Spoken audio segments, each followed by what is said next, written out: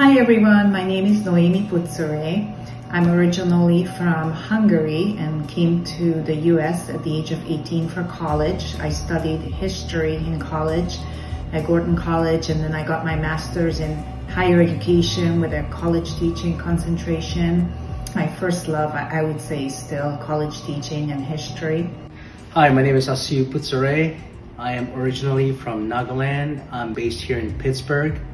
I went to college for computer science and business, and I also got a master's in business.